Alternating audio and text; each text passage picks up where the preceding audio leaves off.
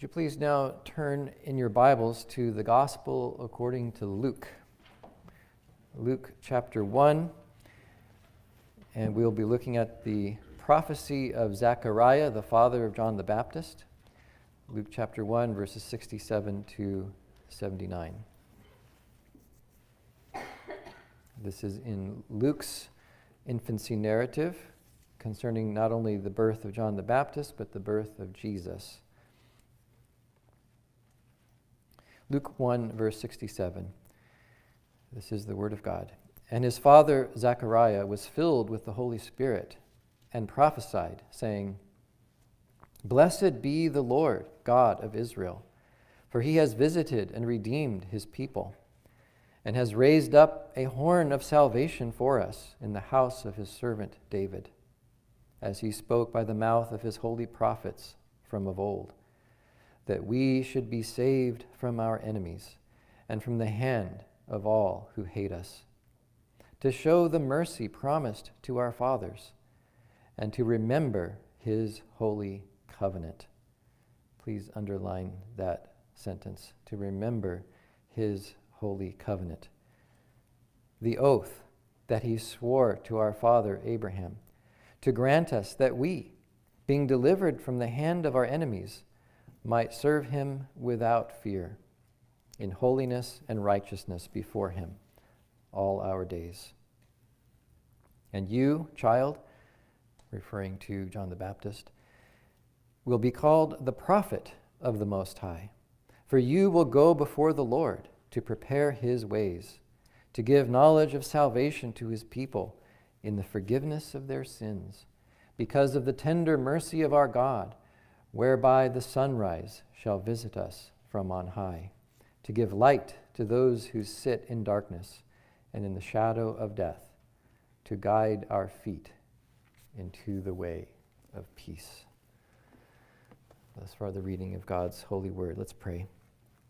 Lord, we thank you for this wonderful prophecy of Zechariah, the father of John the Baptist. We thank you that it points us to our Lord Jesus Christ and how he fulfills the promises of old.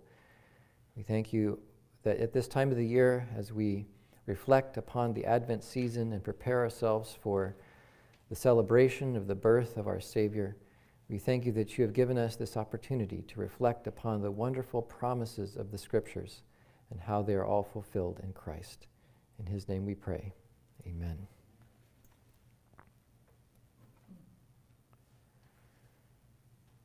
So I've been preaching an Advent series a three part Advent series titled The Promised Offspring, which, of course, is taken from Genesis chapter 3, verse 15, the first promise of the gospel that God made to Adam and Eve after they sinned.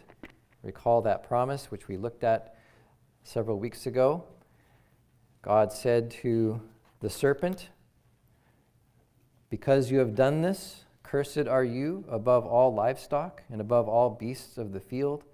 On your belly you shall go, and dust you shall eat all the days of your life. And I will put enmity between you and the woman, and between your offspring and her offspring. He shall bruise your head, and you shall bruise his heel. We noticed that that promise, that first promise of the gospel, which theologians call the proto-evangelium, proto meaning first, evangelium meaning gospel. This first promise of the gospel is given to us in the key of holy war.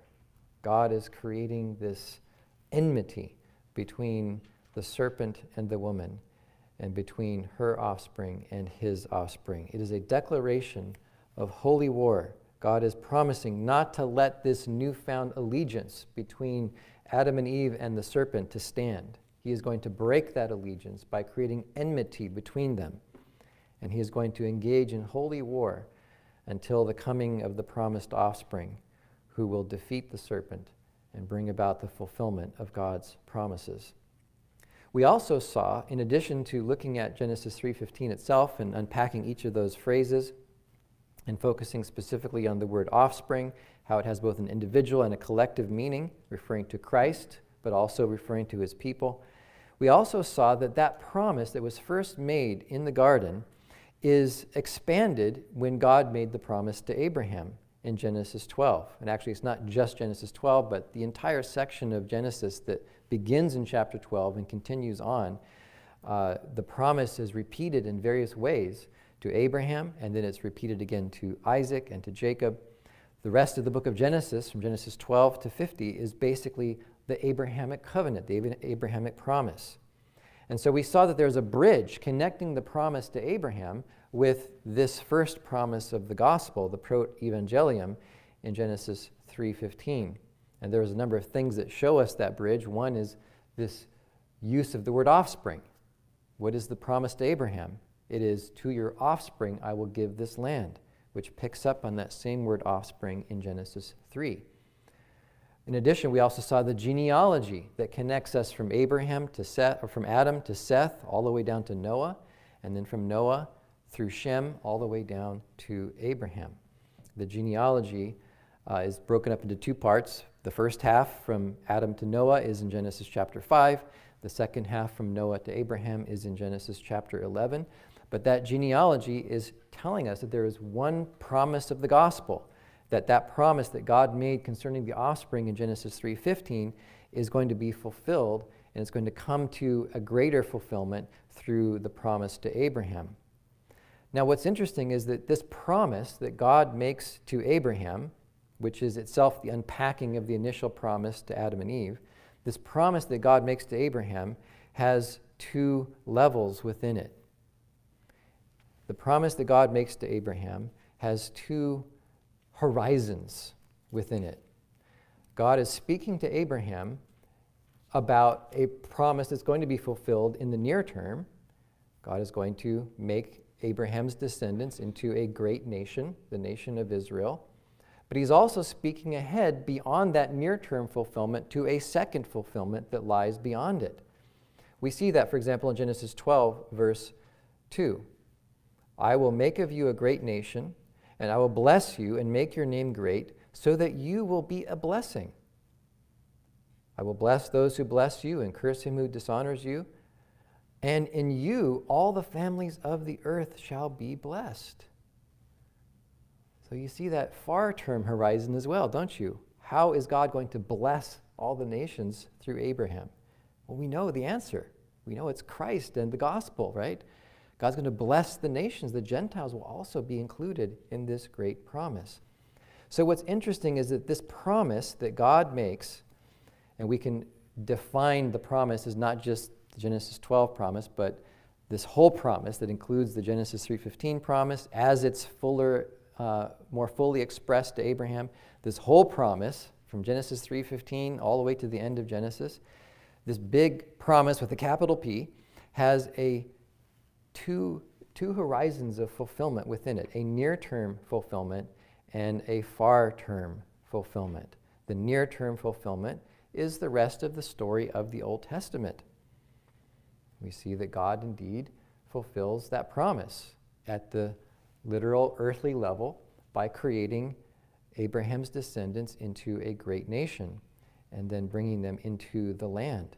To your offspring I will give this land. That really did happen in history under Joshua. But of course, we know that that fulfillment was not the true and ultimate fulfillment because there is this far term horizon that is always in the mind of God, which is that He is going to bless the world through Abraham and his offspring. And that, of course, is Christ. And so this creates this very interesting thing. This is really the um, the essence of what the Bible is all about. If you really want to understand what the Bible is, the Bible is about promise and fulfillment. Everyone knows that, right? We speak about how God is fulfilling all of his promises by sending Jesus as the promised Messiah. But what people don't understand is that the fulfillment itself happens in two stages. And that is the thing that is so interesting about the nature of the Bible.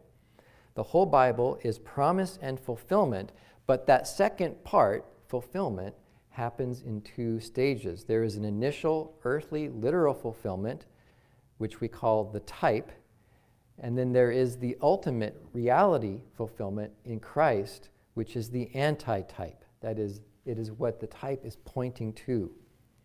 And because God is spending so much time in history, like just think of all the things that happened in the Old Testament historically, right? All the stuff that happened with Israel coming out of Egypt, and then they're wandering in the wilderness, and then under Joshua, they go into the land. They begin to conquer the land and take possession of it. And then God eventually brings about the, the establishment of the Davidic monarchy.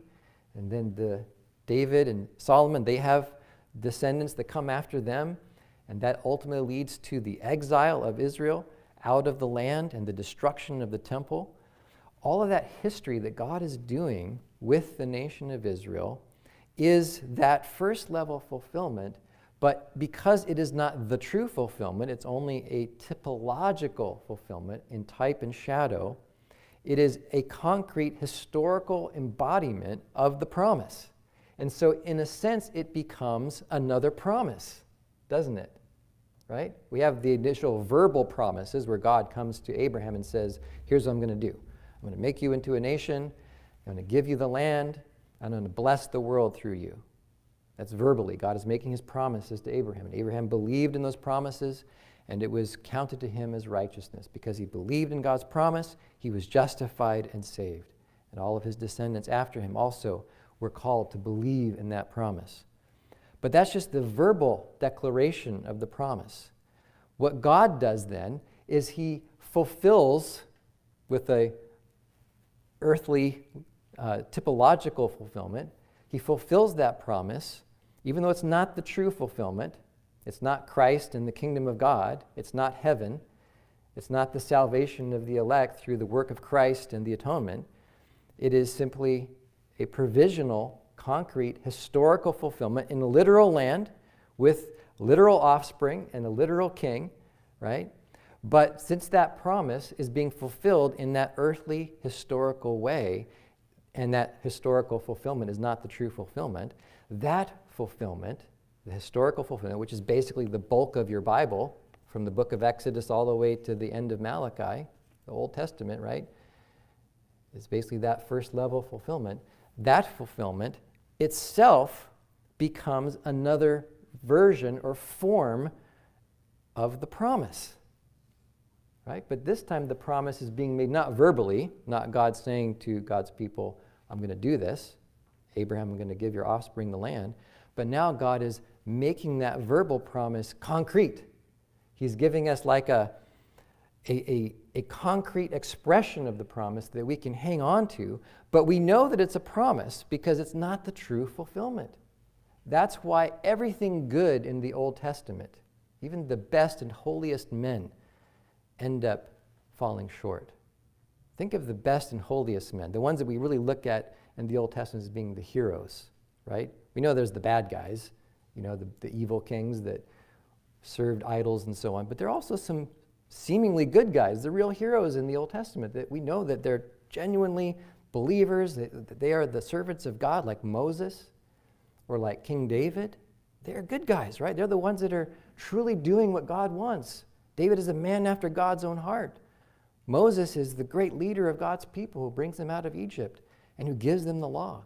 And yet, even the best and holiest of men in the Old Testament have a flaw. They have something that just falls short, doesn't quite actually meet the fullness of what we're hoping for, right? Remember Moses, he's the most humble man of all. He's the great man of God through whom God gave the law, and yet, remember he sinned that one time when he was upset with the people because they were grumbling and complaining, and he struck the rock. And out of anger, God said, because he did that, he wouldn't be able to enter into the land. He gave him a chance to go up on Mount Pisgah and look at the land from a distance, but he died outside of the land because he is not the true Messiah. He is not the true king of God's people. He is only a picture and a type of Jesus. Same thing with King David. Great man of God. He's a man after God's own heart. He's the one that slew Goliath. He's the one that was anointed with the holy oil that, that Samuel placed upon him and said, This is the one. And yet, even King David fell short when he sinned with Bathsheba. And he was not the true king. He is not the true fulfillment. But here's the wonderful thing is that God is giving us these flawed heroes and these flawed fulfillments of his promises in order to make us long even more for the true Moses, for the true David, right? So that these historical, actual embodiments of God's promise Moses was a real man, David was a real man. These historical embodiments of God's promise become a further expression of God's promise. And that's why then, when you turn to the New Testament and the Gospels, the New Testament and the Gospels will then tell us who Jesus is by using all of the symbols and language of the first level fulfillment in the Old Testament. So when we hear who Jesus is, he is described to us as what? He is the son of David, right? He is the Messiah. He is the true king of the kingdom of God. He is the true lawgiver on Mount, just like Moses gave the law on Mount Sinai, Christ on the mountain. He gave us his law, the law of Christ, in the Sermon on the Mount, explaining to us the true meaning of the law of Moses. And so Jesus then is described to us in the New Testament, and in particular in the four Gospels Matthew, Mark, Luke, and John as the fulfillment of the first level fulfillment. The first level fulfillment is only the pic- picture fulfillment, it's only a, only a type and shadow. And it's flawed, and it doesn't completely lead to the fulfillment of God's promises. But it is a promise itself. And so when Christ then comes, we're able to understand the meaning of who Christ is and what he's accomplished in light of all of the symbols and the language that is used and given to us in the nation of Israel. And there's so many different symbols that are used, right? Just think of all the different symbols that are used to describe who Jesus is. I already mentioned that he is the true lawgiver, that he is the true Davidic king, he's the son of David. But there's so many other symbols as well. For example, what is one of the main things that Jesus talks about in his ministry? What is the main theme of his teaching? It is the kingdom of God, right? The kingdom is at hand. The kingdom is pro- that was promised in the Old Testament is now here because he's the king of the kingdom of God. That language of kingdom is taken from the first level fulfillment. That is what God made Israel into. God was forming and fashioning Israel into a kingdom dwelling in God's holy land. And so Christ then is announcing that the true kingdom, of which Israel was simply a picture, has come in his person and work. And so in our text today, which we read, in Zechariah's prophecy, the father of John the Baptist was filled with the Holy Spirit, and he prophesied, saying, Here it is. Here's the fulfillment. It's starting to happen right now through first the birth of John the Baptist, the forerunner of the Messiah, but ultimately through the Messiah himself. Blessed be the Lord God of Israel, for he has visited and redeemed his people and has raised up a horn of salvation for us in the house of his servant David. You see how all this language is taken from the first level fulfillment, is being used to describe Jesus. He is the horn of salvation, he is the one who's coming from the house of David. House meaning like a, a lineage, like a, a monarchic line. He is coming from the dynasty of David, as he spoke by the mouth of his holy prophets from of old. That we should be saved from our enemies. Now, right here, you have a reference to all the way back to the first promise of the gospel. Who are the enemies here? The offspring of the serpent, right? But it's being used here not in the Adamic sense, all, going all the way back to Genesis 3:15, but in the first level fulfillment sense, because who were the enemies of God's people? When they went into the land. They were the Canaanites who were dwelling in the land that they had to overcome in order to go into the land. That we should be saved from our enemies and from the hand of all who hate us, to show the mercy promised to our fathers, and to remember his holy covenant. Now, the word remember in biblical terminology, when it says that God remembers his covenant, it doesn't mean that God forgot and he's like, oh, yeah, I made a promise, now I need to remember it. When the Bible uses this language of remembering his promises or his covenants, it means that he is now beginning to fulfill them. He's beginning to do what he promised. And what's so amazing about this phrase here, he is remembering his holy covenant. And you're asking, well, which covenant is it? Is this the Mosaic covenant? No, it's the Abrahamic covenant, because it tells you in the very next verse the oath that he swore to our father Abraham. So he is now remembering his covenant with Abraham. Now, what's so amazing about that is that this is exactly the same language that was used back in the book of Exodus. At the very beginning of the first fulfillment. Remember back in the book of Exodus, you have Exodus chapter 1, which is that the people are becoming numerous, and then they are being used as slaves by Pharaoh, and they're groaning under the burden of being slaves to, to, uh, to Pharaoh. And it says that God heard their groaning. Exodus 2, verse 24. He heard the groaning of his people, and God remembered his covenant with Abraham, with Isaac, and with Jacob. The exact same phrase. Exodus 2:24 is at the beginning of the first fulfillment. Luke 1:72 is at the beginning of the second fulfillment. In both cases, God is remembering his covenant with Abraham, the oath that he swore to our father Abraham. I'll never forget the day when I was uh, in class at Westminster Seminary, California. It was in April of 1993. Now you have a sense of how old I am. Um, it was a while ago, so 30 years ago. And I was in class in what's called Pentateuch. This was a class taught by Meredith Kline. He was my favorite professor at Westminster. He was an Old Testament professor. And he taught a class called Pentateuch, which means the first five books of the Bible, Genesis through Deuteronomy. But don't let that name for the class fool you. It wasn't just about the first five books of the Bible, it was actually an introduction to biblical theology, the entire structure of the Bible.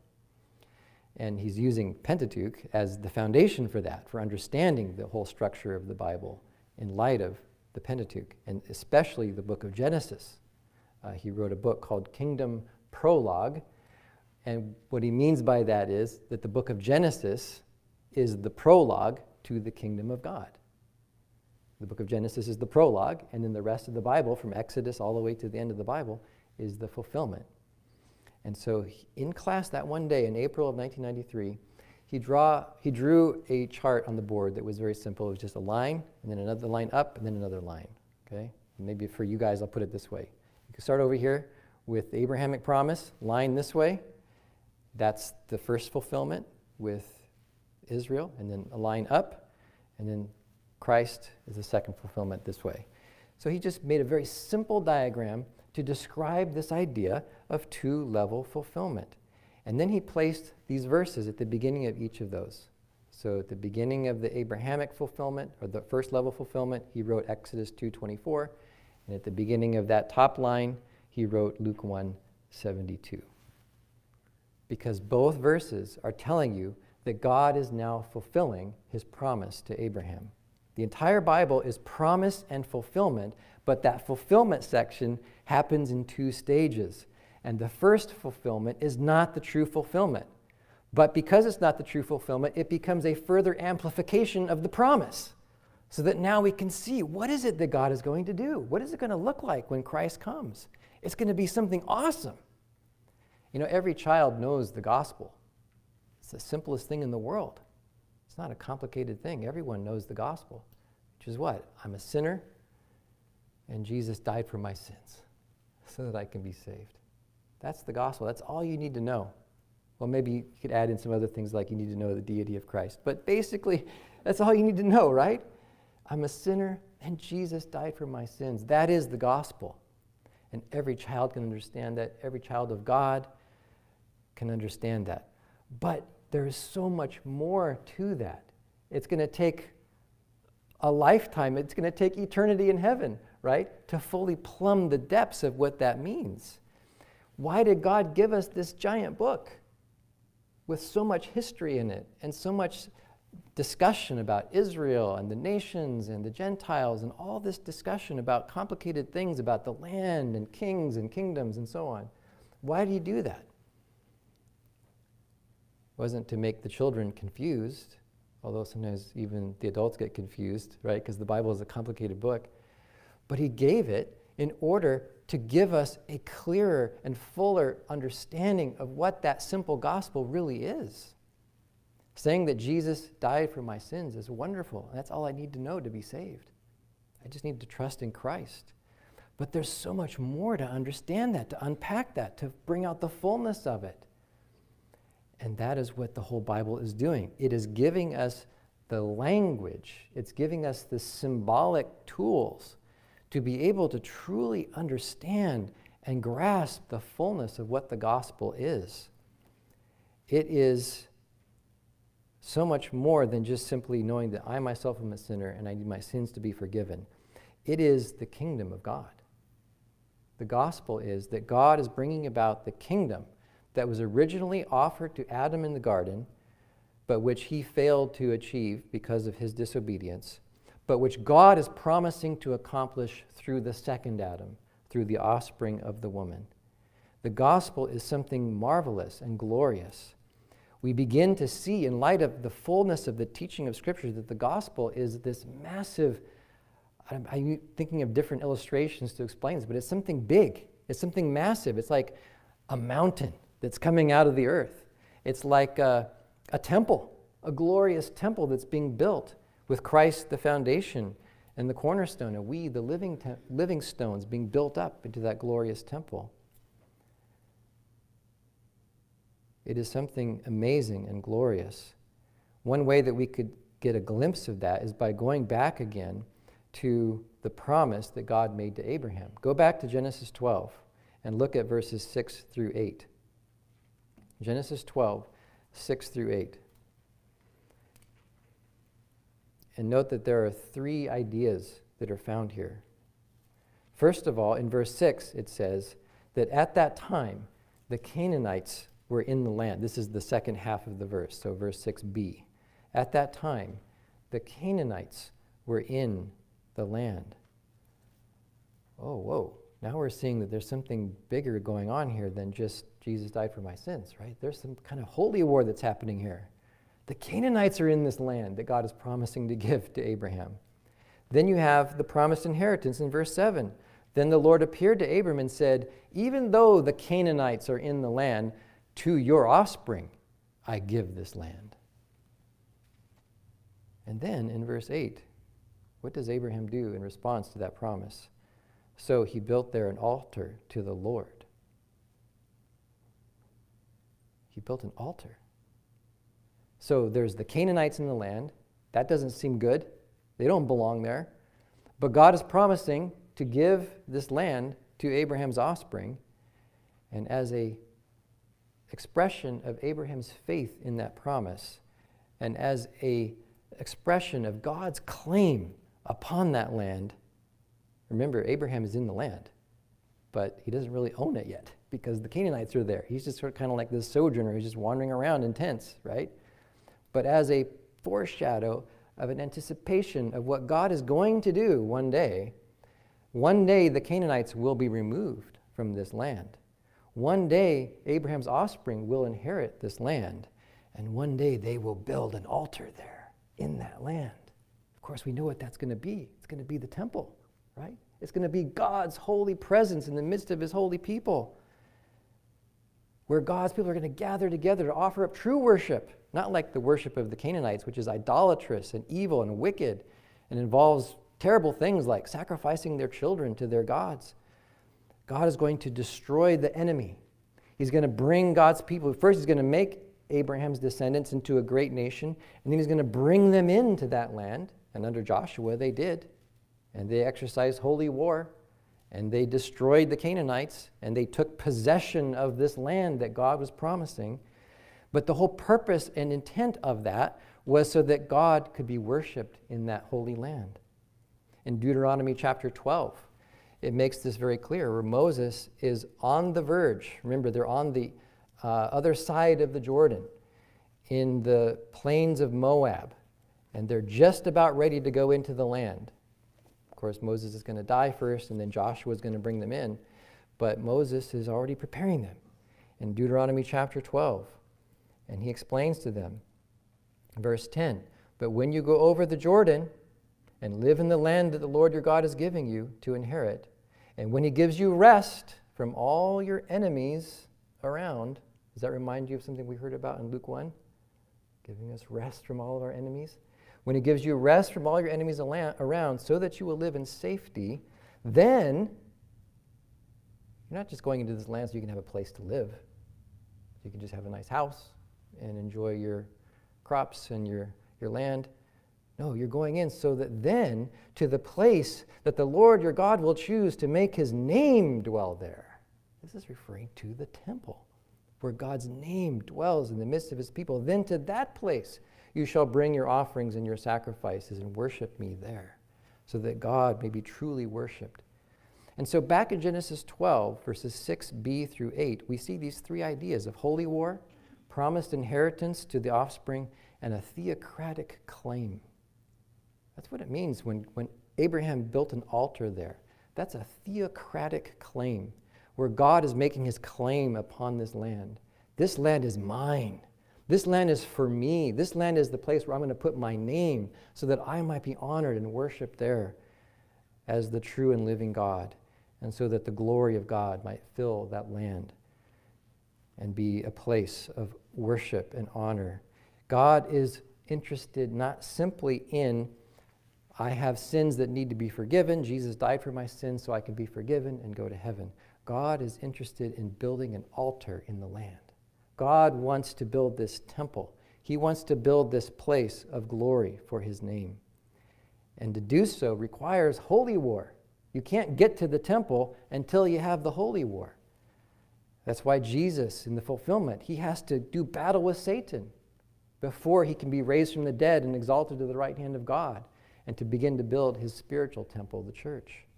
There has to be this conflict with the serpent. The serpent has to be defeated. The idolatry must be cleansed from the land. And not only that, but it's not just simply me as an individual getting my own sins forgiven. God is interested in creating a people. He wants a people that will worship him. He wants this blessing of Abraham to go to the nations as well, so that all of God's people might enter into this land, becoming a great nation to worship God and to become this glorious dwelling place for God in the land. And all along, even in the first level fulfillment, there is this promise of the individual offspring as well. There's the corporate offspring, all of God's people worshiping God, the, the seed of the woman, the offspring of the woman, not the offspring of the serpent. But there's also this individual aspect because God's people need a leader. We need a covenant head who can lead us in the true worship of God. Even in Genesis 49, verse 10, there's the promise of the lion of the tribe of Judah, and to him shall be the obedience of the peoples. And God's promise to David as well.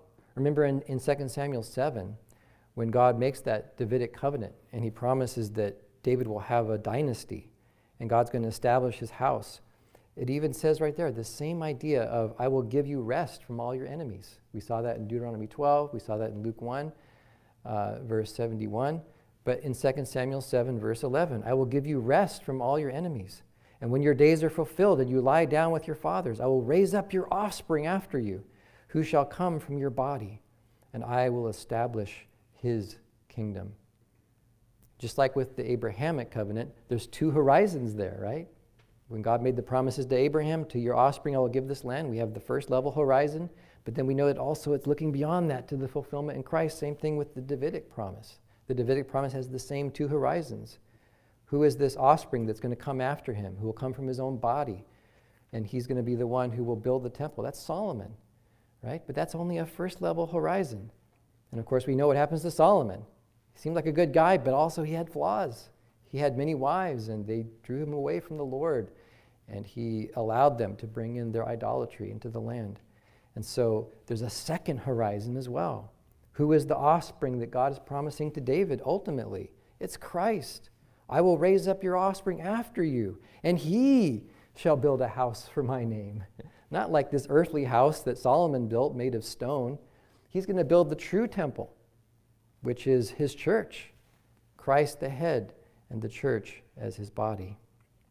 And that's why, between these two fulfillments, the first level fulfillment with Israel and the land and the temple, and the true fulfillment with Christ and his church and his kingdom and his temple, there is this intervening moment which takes up a lot of the Old Testament, which is what? It is the ultimate failure of the first level. It is the exile of Israel out of the land. Just as Adam was expelled from the garden because he failed to keep the holiness of God's garden temple. And he allowed the serpent to come in when he should have destroyed the serpent and expelled him from the garden but yet he became compromised. So also Israel also did the same thing. Just read Judges chapter 1, where it says that they didn't go into the land. They didn't completely destroy the Canaanites. They made treaties with them, and they began to compromise, and they began to worship the gods of the Canaanites. And so as a result, the first level comes to an end. And it says in Hosea 6, verse 7, like Adam, they transgressed the covenant. Like Adam transgressed the covenant of works in the garden so Israel transgressed the covenant of works that God made with Israel at Mount Sinai. They failed to execute God's judgment upon the Canaanites. They became compromised. And so the exile then is a reenactment of the fall. It was a God ordained failure. Don't read the Old Testament and be disappointed and say, man, I wish there was a better ending.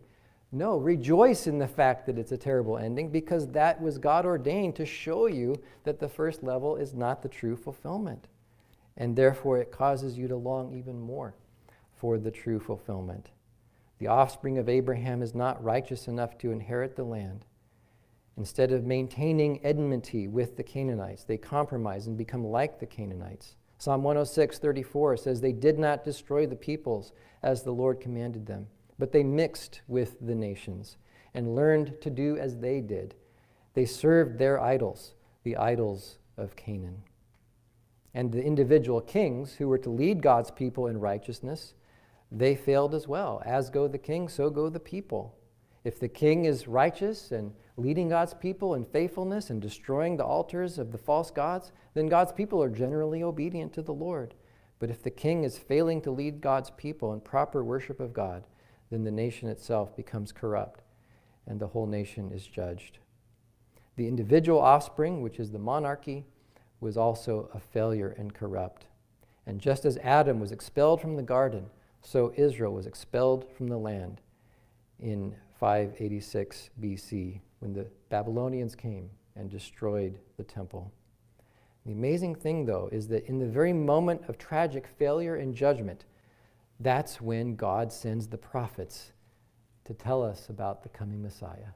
Just like in the garden, right? Right in that moment of failure when Adam and Eve disobeyed God and they're hiding from God in shame, God makes that first promise of the gospel. So also, when national Israel, as a corporate second Adam, is hiding in shame from God and in, is in exile and captivity, it's then that God raises up the prophets like Isaiah to say there's going to be a, a, a, coming Savior. For unto us a child is born, to us a son is giver, given, and the government shall be upon his shoulder. How wonderful it is to know that what God is doing is something wonderful and glorious. It is something bigger than just, I'm a sinner and I need to be saved from my sins and be forgiven. It is this wonderful fulfillment of everything that God had intended from the very beginning. One way you could summarize it is to say it is the kingdom of God, but another way of putting it is it is a holy kingdom of God. And what's the term we use for that? It is a theocracy. That is what God wants. He wants a theocracy. Now, of course, we as American democratic people, we don't like that idea and I'm not advocating for theocracy here in the earthly realm. in the common grace realm of civil government. But in terms of what God is trying to do, God wants a theocracy. He set it up initially in the garden and it failed. He set it up again at the first level fulfillment with Israel in the land and it failed. But now through Christ, he's bringing about the fulfillment of that theocratic kingdom, the holy kingdom of God. And there's three elements to that. There is the king of the kingdom of God. He's the obedient king who leads God's people in the true worship of God. There's the kingdom people who are under the who are loyal to that king, who are serving that king, who've been redeemed by that king to be the kingdom people. And there's the kingdom realm where the king is reigning in the midst of his holy people. And you see all three in the original promise in Genesis 3:15, the offspring in the land. And you see it with Genesis 12 as well. To your offspring I will give this land. Of course, the offspring has two aspects to it the individual offspring, which is the king, and the corporate aspect, which is the king's people, worshiping God in that holy realm. Let us pray. O oh God, thank you for the promise of the coming offspring who would crush the serpent's head. Make us more and more to know that we have victory over the enemy, not in our own strength, for we have none, but because we have been made partakers of Christ's victory. Thank you for the promise that you made to Abraham that he and his offspring would inherit heaven. We thank you that you have fulfilled that promise in Christ. Thank you that since we belong to him, we are Abraham's offspring and heirs according to the promise. We know that we are not worthy to inherit heaven. We are not righteous enough to be the righteous people who dwell in your holy kingdom.